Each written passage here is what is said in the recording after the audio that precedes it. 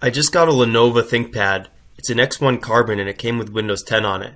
I'm going to put Ubuntu 15.04 on it as well, but I want to keep Windows in case I need to run some Windows programs later. So I'm going to dual boot my computer. First I'll go to releases.ubuntu.com slash 15.04. I'll scroll down on that page and look for the 64-bit ISO image. I'm using 64 bits because I have an i7 processor.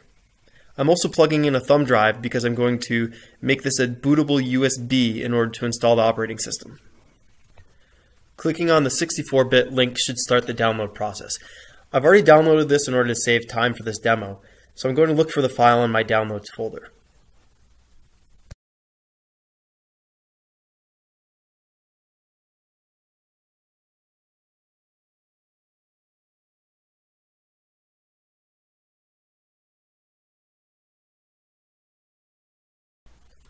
It's right where I expected to find it.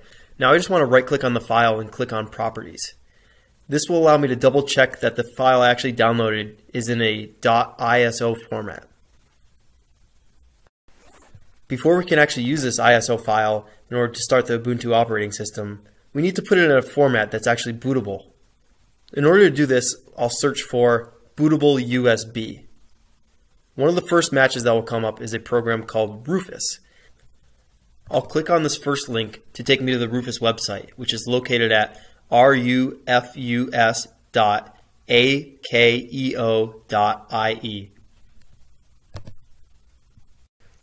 Scroll down on the Rufus page and look for the most recent release of the portable version of Rufus. Click on this link in order to start the download.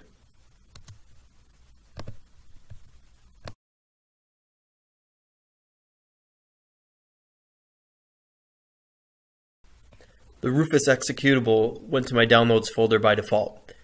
If I go to this location, I can now double click on the program in order to start the installation process. First we'll click yes to allow Rufus to make changes to our computer in order for it to install, and then I'll select no because I don't want Rufus to automatically update. Most of the Rufus settings can be left at their defaults. Just make sure that you're using an ISO image to create the bootable disk then select the ISO file we downloaded previously. Open this and then click Start.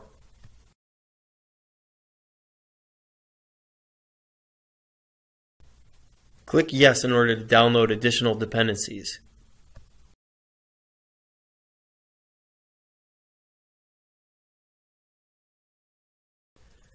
Write the image using the default ISO mode. A good thing to point out is that anything on your USB drive will be erased through this process. I'm starting with a blank USB drive for this very reason. Press OK to continue. I've sped up the creation process for the purpose of this demo. Don't be surprised if yours takes a lot longer than this.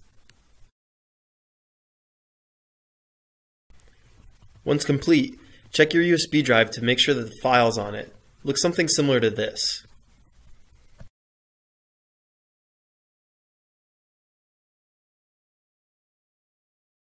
The next step is to make room on your hard disk for your Ubuntu installation. Search your computer for the word disk and select the option Create and Format Hard Disk Partitions.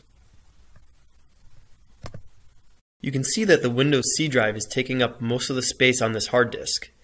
We want to shrink this partition in order to make room for a new partition for the Ubuntu operating system. Right-click on the Windows C drive and click the Shrink Volume option.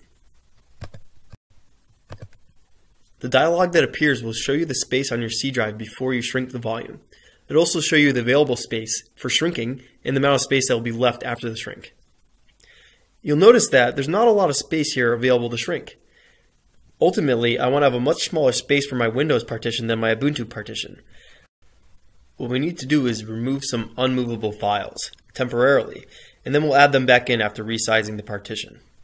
First, we can turn off the Windows Restore Point files by searching for System Protection.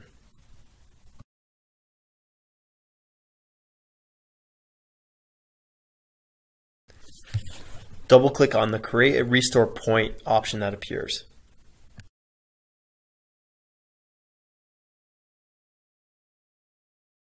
If it doesn't pop up automatically, select it from your toolbar. You can see that protection is on by default. So we want to configure this and disable protection. Click OK.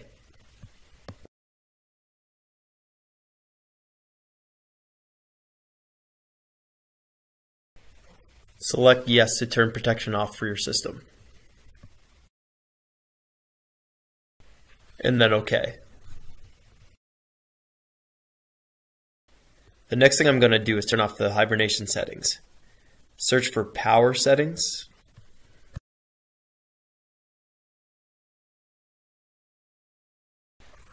Select power and sleep settings.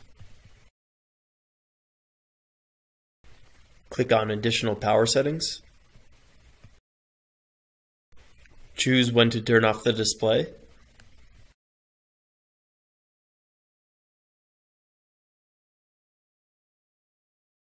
And then change Advanced Power Settings.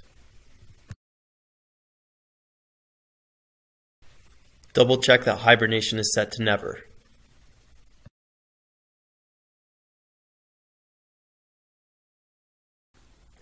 If you visit the Ubuntu certification page, you'll notice that the X1 Carbon does not actually support hibernation for Ubuntu. Now we just need to restart our computer for these changes to take place. I'm going to speed up this process in the video a little bit.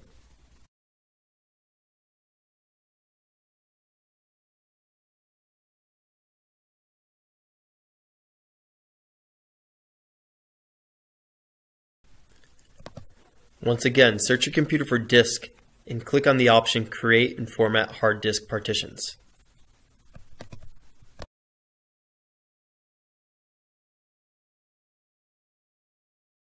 Like previously, right-click on the Windows C drive and then select Shrink Volume.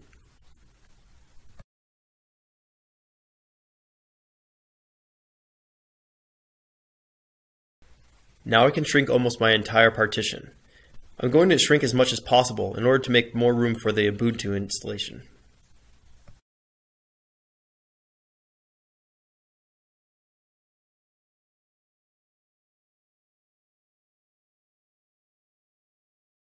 Now there should be a good chunk of unallocated space available, which we'll use for our new installation. In order to actually run the installation process, make sure your USB drive is inserted and then go to the Start option on your main menu, select Settings, and then scroll down to Update and Security. Then click the Recovery option, and under Advanced Startup, select Restart Now.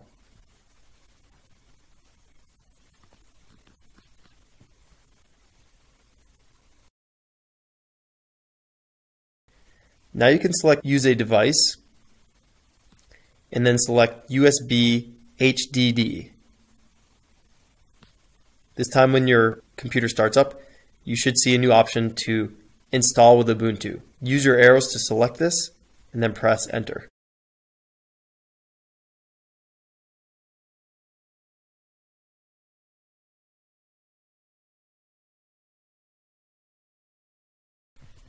The welcome screen that appears will ask you to select the language. I have chosen English. Then click Continue. I'm not going to connect to Wi-Fi right now, that's fine. Click Continue. The system will give you a few warnings. These all look okay, so I'm going to click Continue again.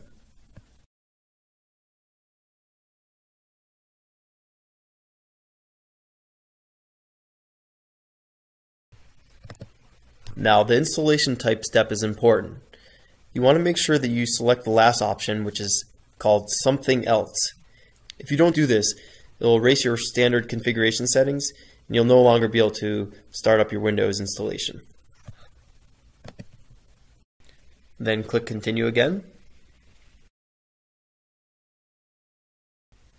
Now we want to install to the free space partition. And despite what I actually do originally in this video, by selecting the empty one, the 0 megabyte one, you want to actually select the one that has some size to it. In my case, it's 477925 megabytes. It may be a little different for your system. Now, the first thing we want to do is set up a swap memory. Think of swap as a failover for when you have too many things in memory. I'm going to set my swap to the exact size of my RAM. In my case, that's 16 gigabytes. That's generally a good practice since it supports features like hibernation, although we saw earlier that the X1 doesn't actually support hibernation. Then select swap area and press OK.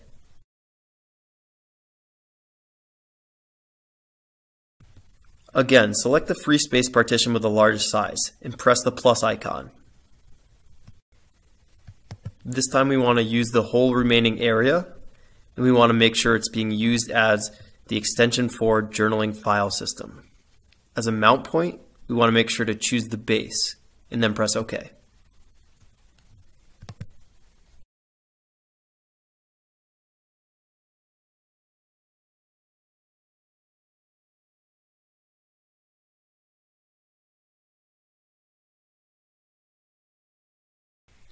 highlight the root partition we just created, and then select Install Now.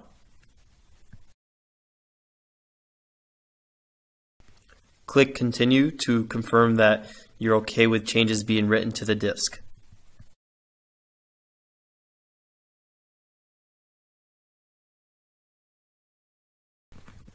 Now select your time zone.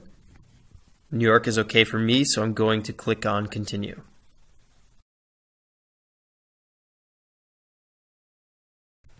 Select the keyboard layout that you prefer. English is okay for me, so I'm going to select that and click continue.